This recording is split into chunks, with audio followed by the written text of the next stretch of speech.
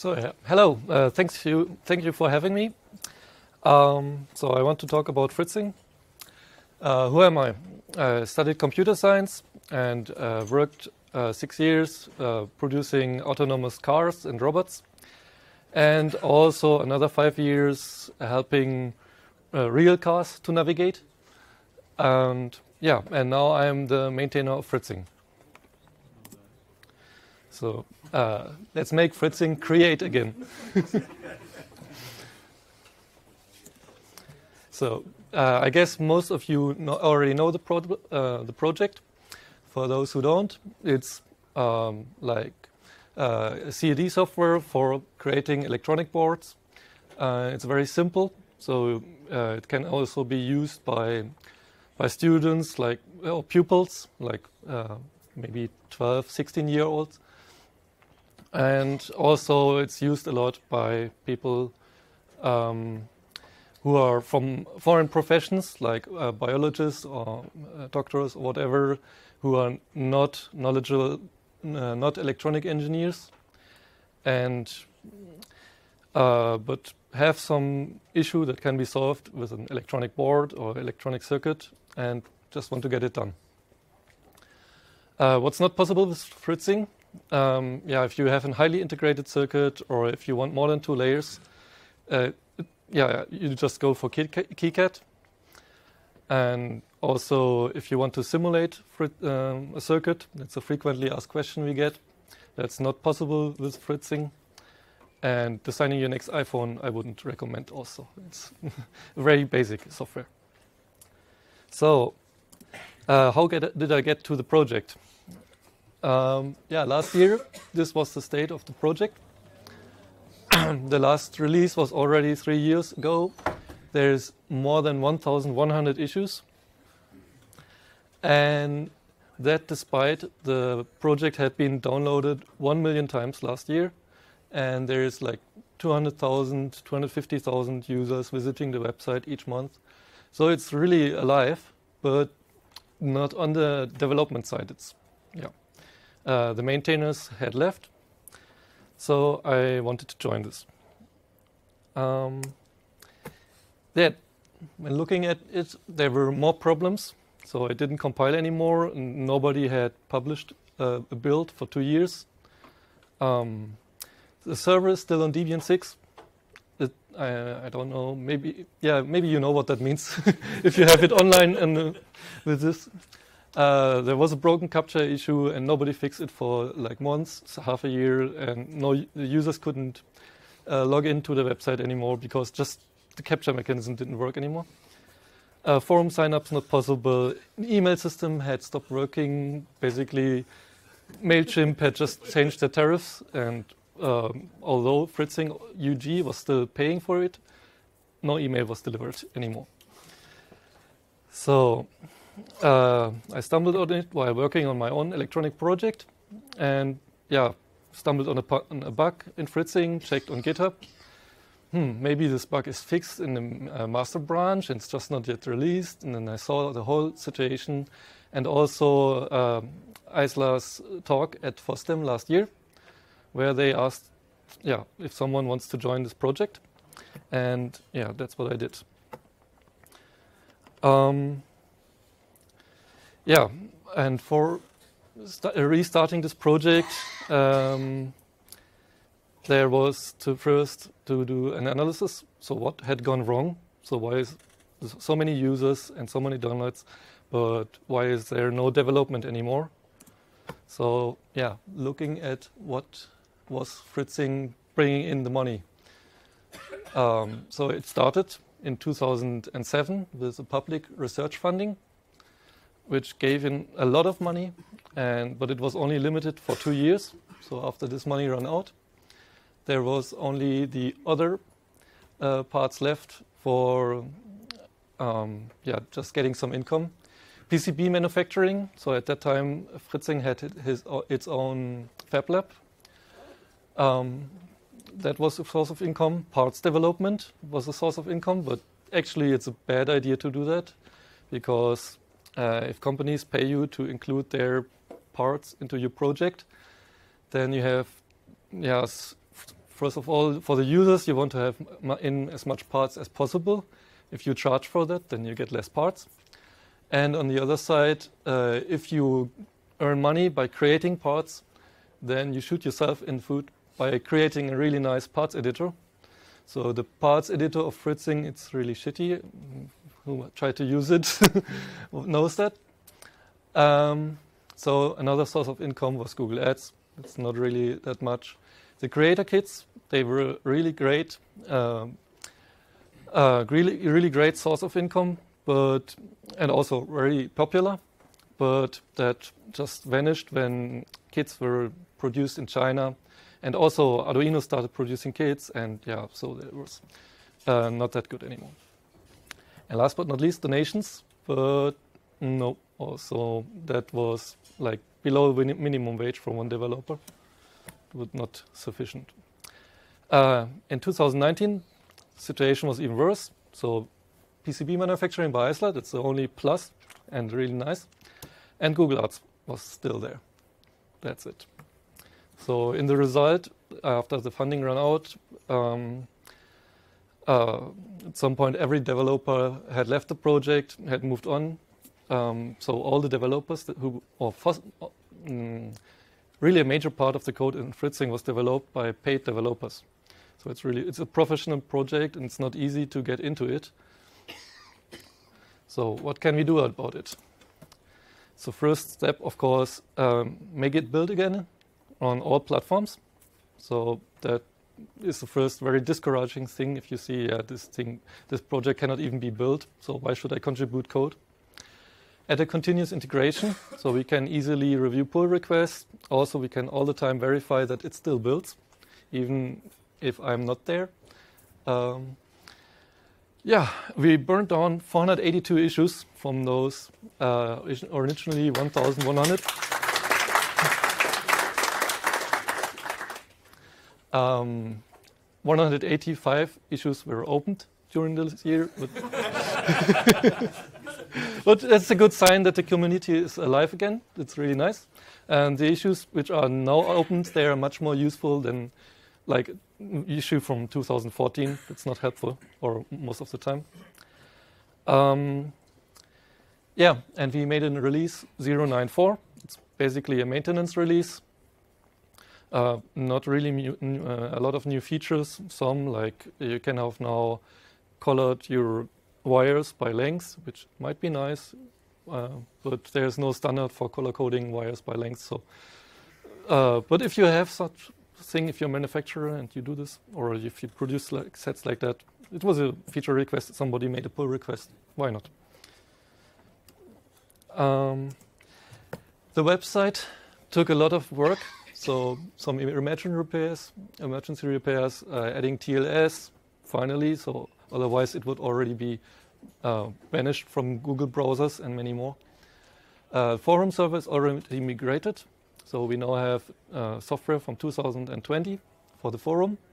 It's going to be stable even without maintenance for quite some time, but now it's also easy to maintain it just by updating it with one click. And one thing uh, a lot discussed is we added payment. So um, actually, because of legal issues, we had to send back all the donations that had been made in end of 2018 until beginning of 2019. Um, or not we, because I was not part of the project back then. Uh, I tried DonorBox and other services, but the income from that still would not be sufficient uh, to fund uh, one developer like me, um, or services, third-party developers. Yeah. Yeah, what I said. So now we have this 8 euros per download for GPL project which is uh, a lot discussed, but it's successful. So by pushing users to this kind of donation, which is tax-wise, it's not a donation, but it's still not obligatory, although we really push users to that. Uh, it now pays for one developer, uh, money for services, data protection officers, web servers, and even to hire freelancers. So uh, future for Fritzing is looking uh, really good from that perspective. So we have a roadmap for 2020. Um, we will try like things like issue bounties. Uh, so maybe we can put some uh, bounties from the uh, money we gain during the downloads uh, on GitHub issues and see if people um, like that and want for this offer uh, help us burn down the still remaining 880 issues. Um, so uh, 482 issues do, uh, done means we had last year 1.2 issues fixed per day, and I hope to increase this to two issues a day.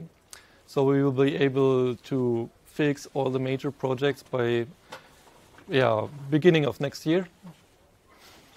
Uh, yeah, we hope to get a much better part experience in fritzing. Um, I can't say too much about it because it's really work still. So like, you can see that if part is end of life, stuff like that, when you start your project, that would be really cool. Um, working, we are working on a new parts editor, obviously now, so that will hopefully be done this year also. And join in FOSDEM 2021. That's also already on the roadmap and uh, try to keep the GPL business model. So um, for now, it's a problem for a school. Uh, when they want to download Fritzing and we say it's 8 euros per download, it's not a good idea for a classroom. It just doesn't work. So, of course, I, when, when they write me an email, then I just send them the link. And if you register, I think uh, if you register on the website, then this is a way to sneak around the 8 euro payment. So uh, for schools, there is always this option. Um, yeah, like support campus and classroom downloads. So for a campus, they, they also want network install for Windows and lots of stuff like that.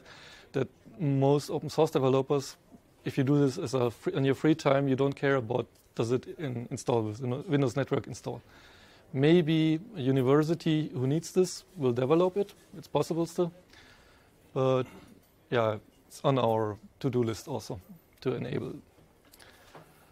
Um, yeah, I rushed through. we, we can start questioning.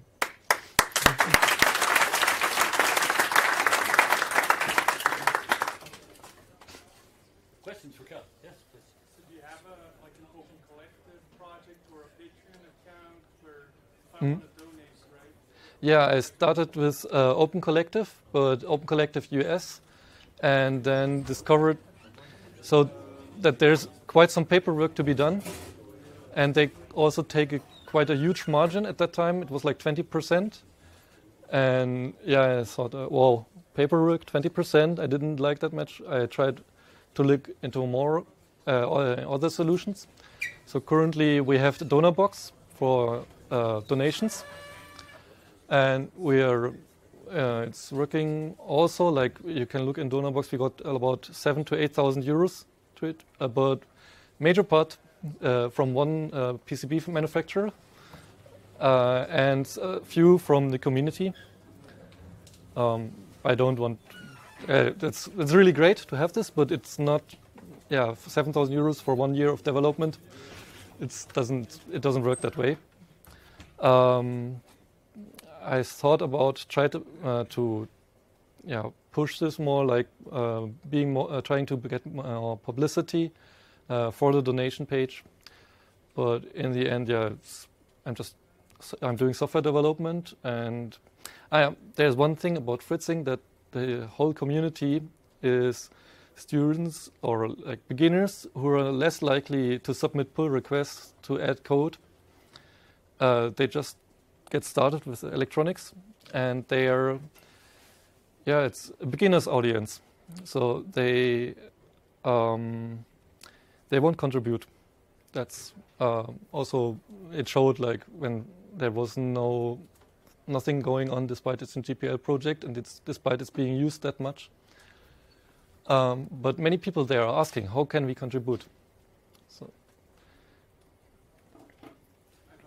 so yeah, um, maybe I didn't catch it, but did you get access to the original repo and all this, or are you yet another branch? No. Ah, yeah. Uh, if I get access to uh, the original repo and everything. Uh, yes, I got access to the domain, to the web server, to the original repo, to everything actually. Cocaine and hookers Patrick was talking about. Hmm? Also the cocaine and hookers Patrick was talking about. Not Ah, yeah. Well, I, I didn't get access to the books, so I don't know where the money went before I started. Yeah. um, yeah. Wait, in the back. How was the 8 euros per download received by users? Did you get any negative feedback? Yes, of course. I, um, if I get uh, negative feedback about the eight euros per download by the users, so yes, of course. So some people they really don't like it, um, but there's more people who actually favor it. So it it equals out so that the the people who are enthusiastic about fritzing and also other developers usually they are fine with it. They say, yeah, okay, cool. If this is the way to make the project going on again, then it's fine. And then, of course, yeah, sometimes you get a around from someone, ah, the software it has lots of bugs. Uh, don't make me pay for it. I just want to try it. Well, yeah, that's it. that's that's life. Yes. The eight euros for download. If you download it via your distro, Mm. is that gone? Yeah. Uh, so we're um, sorry. Uh, uh, one uh, eight euros per download is a bit weird. So how does it work for distributions like Ubuntu or the like?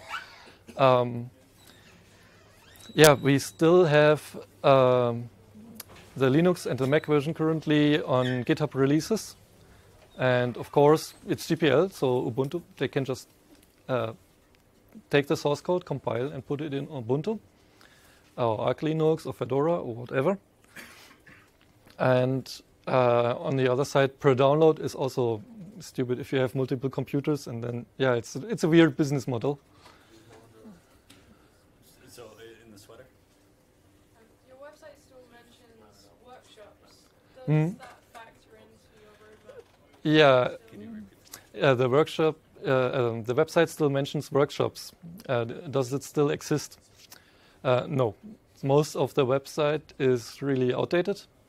Um, but there are people interested in workshops.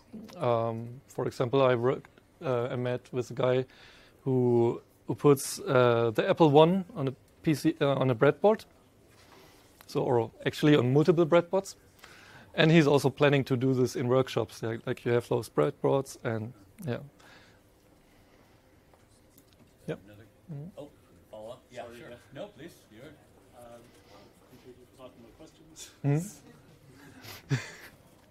So, so follow up on, on the eight dollars, uh, eight euros. I know we keep talking about this, Mhm. but as a common suggestion, I would love to contribute if there would be like a goal towards, let's say, five thousand euros a month, right? Mhm. On something like Patreon or Open Collective. I would love to make a monthly donation if that means others uh, wouldn't have to pay. Right? Mhm. Does that make sense? That Yeah, yeah, that makes total sense. Uh, it's like Try, try to Um, repeat the idea. So you uh, you would love to make a contribution, a monthly uh, donation, uh, if uh, others then can profit from it or can don't need to pay. And I think it's okay if there's a goal, right? I I understand if you only get 100 euros per month, that that's not enough for you. But once you reach a certain number, Mhm. you can say, if we reach this goal, then we can make it back free. Is that something that you're still Um, yeah, that's a good idea. So, uh, if that's—I didn't answer the first question. uh, so, if we reach a certain goal, if we would then say like, okay, this monthly goal is reached, and then from now on we can just offer it for free. Um, yes, of course. Uh, I didn't think about this yet, so that would be a good idea. Um, you got your question back? Yeah, I remember. About governance, how do we prevent this happening again? Don't get to repeat the question. Um, about governance. Yeah, so you follow, you know, you're targeted by uh, a boss randomly. How does the project uh, continue if anything, if you decide to give up the project? I am. So if I left the project, uh, how how do we prevent uh, that the project uh, is uh, dying again? Um, so the best mechanism that is currently really fixed in place, I think, is the CI mechanism. So the a new person who wanted to pick it up, there's already some technical debt done, so it's easier to start with the project now. And also, yeah, with the yeah, um, there's actually not a good protection against it now. So um, I'm currently not thinking about leaving the project. it's, like it's working great for uh, great, um, but also there's some some legal stuff that needs to be done. For example, like we are not GDPR compliant at all. uh, stuff like that, and all those legal risks, uh, they need to be settled also with Fritzing UG, and uh, I'm currently not yet associated with them. So that's that's a risk to the project. Thank you.